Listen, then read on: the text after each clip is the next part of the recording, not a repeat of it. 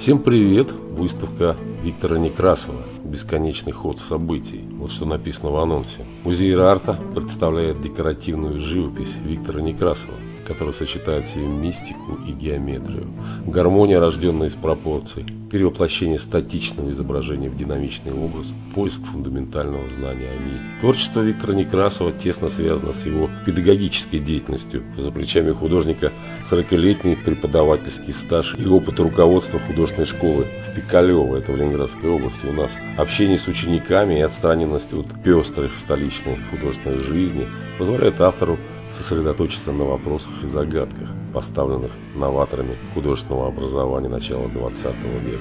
Он пленен гармониями, которые рождаются из пропорций, и убежден, что геометрия способна подарить зрителю некое фундаментальное знание о мире.